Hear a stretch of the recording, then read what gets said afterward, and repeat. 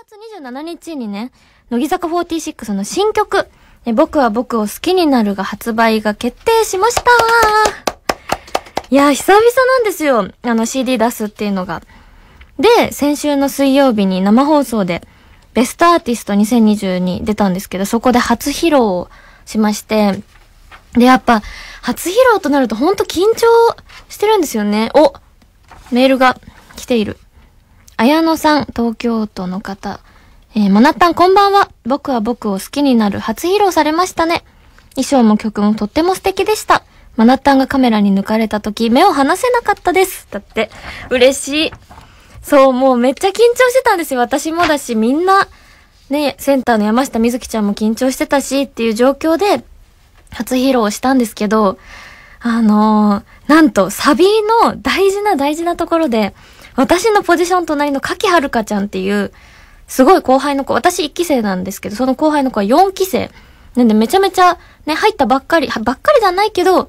まあ、後輩の子が、あのー、すっごい大胆にもうはい半回転ぐらいしてこけたんですよ。で、見てた方わかるかもしれないんですけど。で、え、もう新曲初披露でサビこけたらもう次どっから入っていいか普通わかんなくなるんですけど、もう瞬時に起き上がって入れるとこを探して、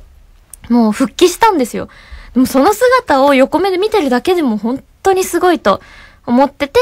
曲披露は一応終わったんですけど、終わった瞬間にそのかきちゃんがもうめちゃめちゃ号泣して、もう上を向けないぐらいずっとこう下向いて泣いてて、で、私たちも大丈夫って言って、もうしょうがない。靴がすごい滑ったんですよ。で、靴と多分床の相性が悪くて滑っちゃったんで、全然かきちゃんのせいではないんですけど、多分責任を感じて、大泣きしてて、ああ、大丈夫かなって心配してたんですけど、その時に私、なんか、なんて声をかけたらいいのかなってすごい、いろいろ迷ってて、でもなんか頭に出てくるのは、私のファンの方だったら知ってると思うんですけど、ライブとか、めちゃめちゃ大事なシーン、もう花火が上がってクライマックスだみたいな時に私はこけたりしてるんですよ。だから、そういう人に何を声かけられても、なんか慰めにならないのかなとか、いろいろ思いつつあんまりいいことは言えなくて、でも私が思ったのは、その、一回ね、こけちゃって、なんかすごい落ち込んでる姿を見たときに、あ、私って、こけても落ち込んでないかもしれないっていう、その、なんか初心を忘れてしまったみたいな感じを、ちょっとね、改めてその瞬間、そのかきちゃんとまた全然違う感情を抱いてて、なんかね、ちょっと反省するというか、なんか申し訳なくなりました。なんでかきちゃんね、全然、あの、プレッシャーに思わずに、